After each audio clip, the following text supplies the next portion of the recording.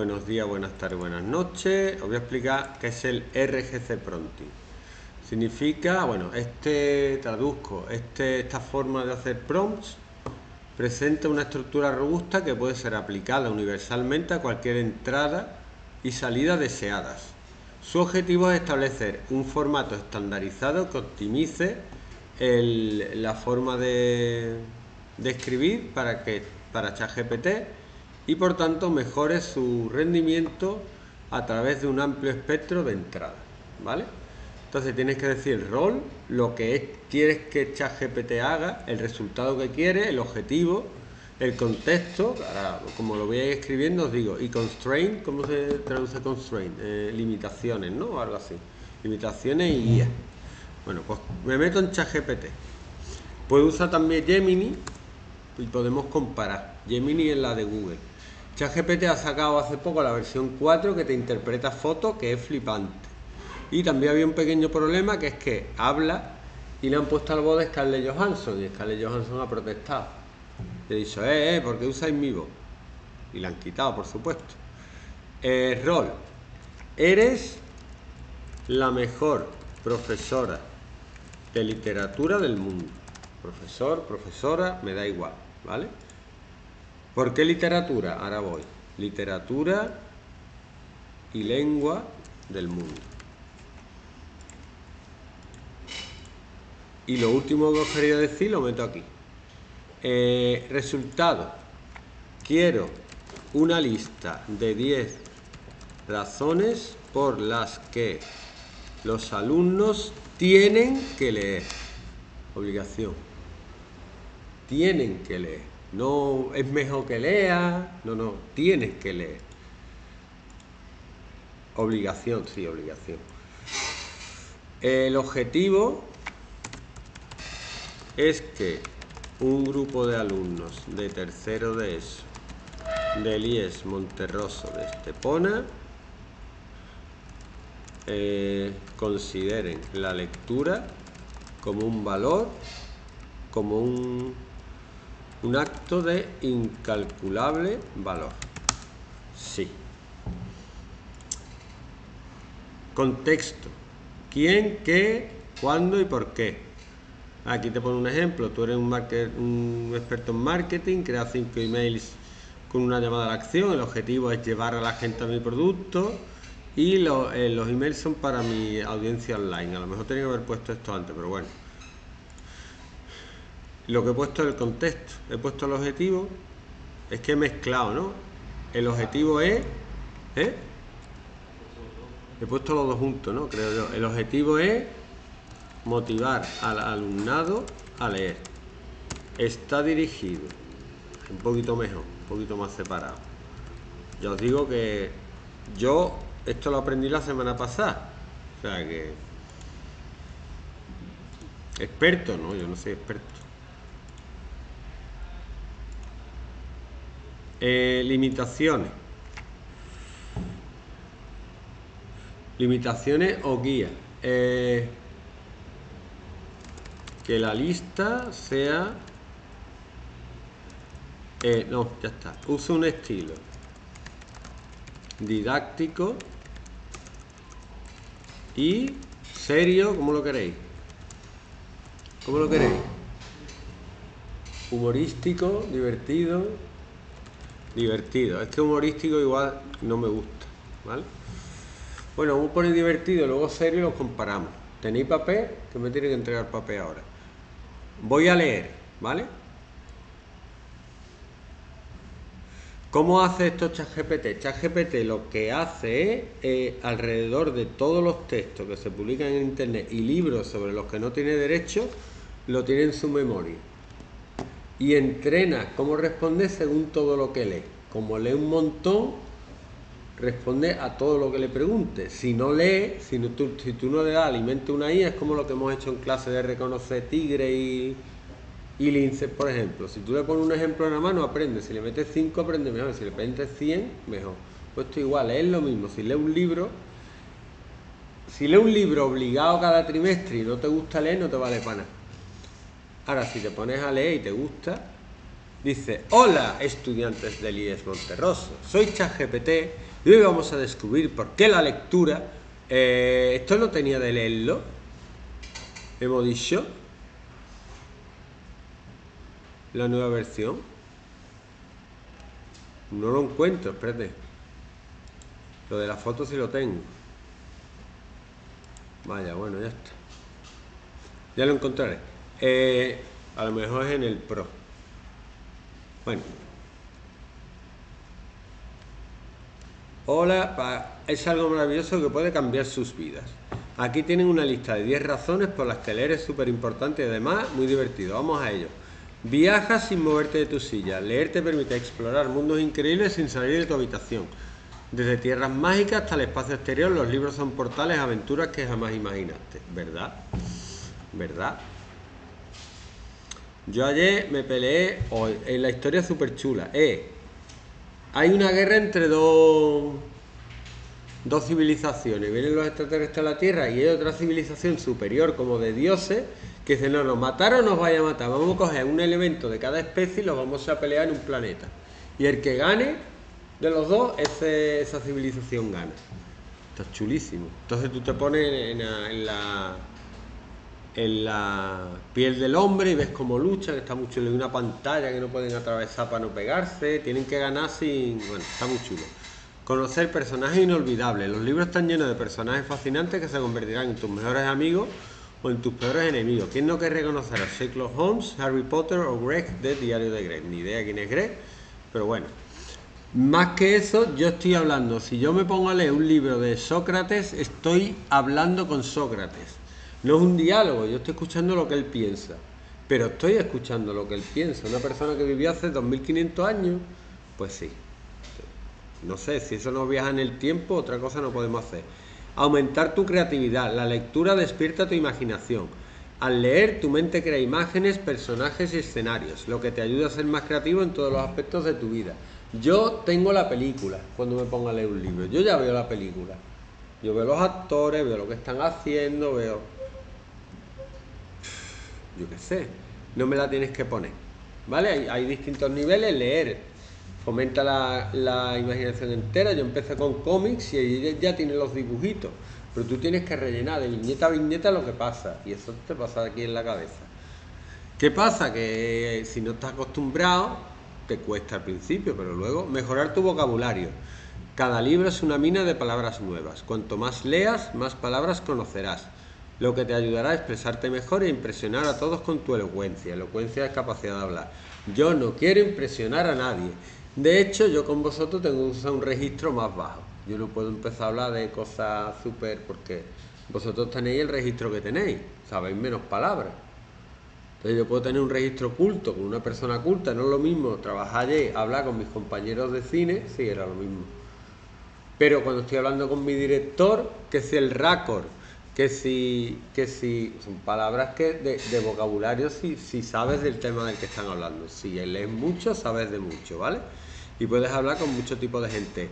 Yo puedo hablar con, un, con, la gente de lengua, los puedo entender hasta cierto nivel, ¿vale? Porque sé algo de eso. Ellos saben más que yo, pero yo puedo comunicarme con ellos, cosa que si no hubiera leído no podría. Ellos me cuentan las cosas y yo las entiendo. Esto sí me interesa a mí, ser más empático. Leer sobre las experiencias y emociones de los personajes te ayuda a entender mejor a las personas en la vida real. La empatía es una habilidad crucial para relacionarte mejor con los demás.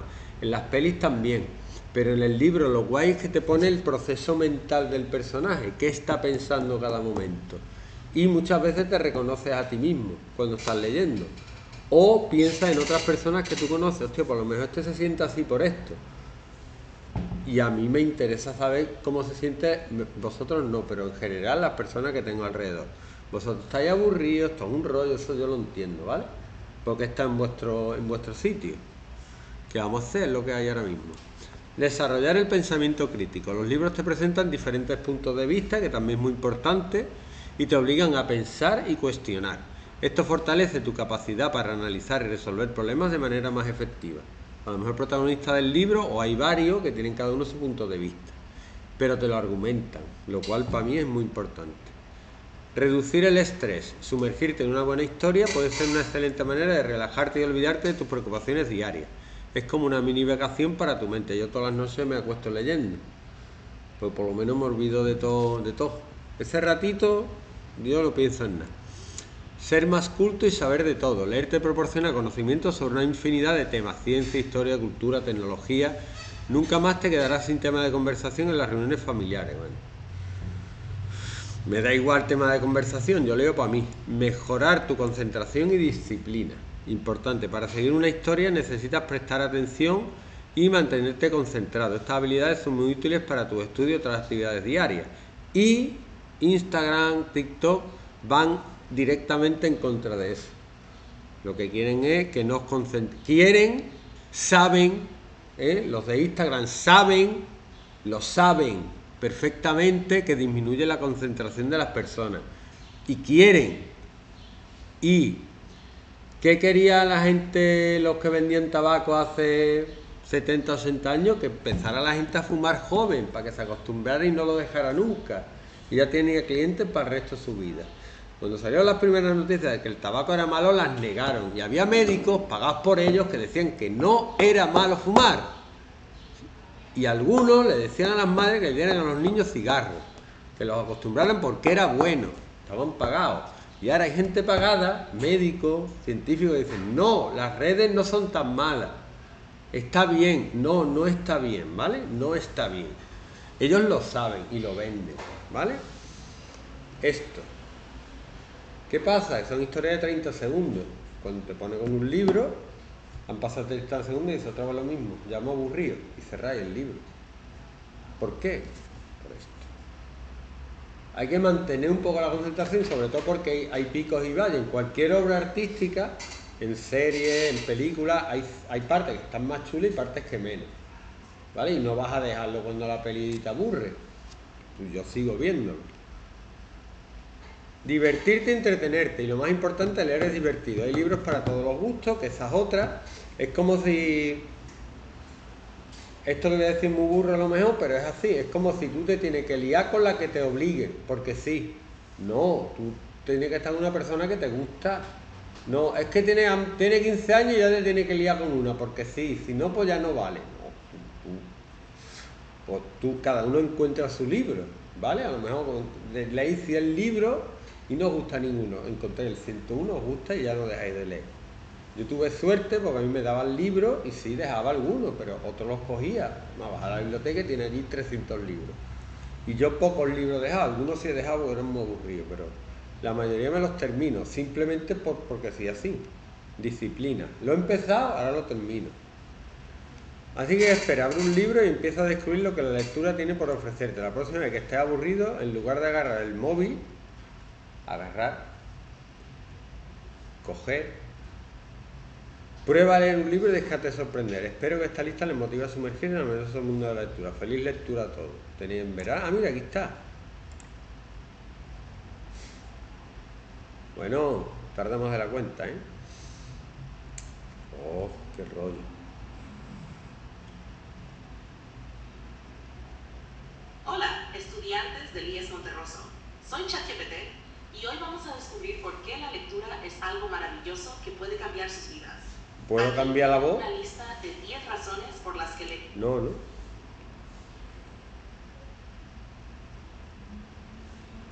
Ve, aquí está el modelo 4O y el antiguo, ¿vale? Aquí va a ser yo. No, no, no. Lo voy a hacer con Gemini.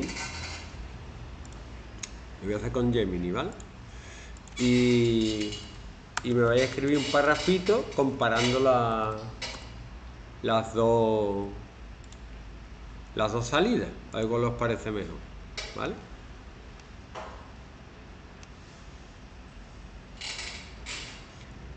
¿Y por qué?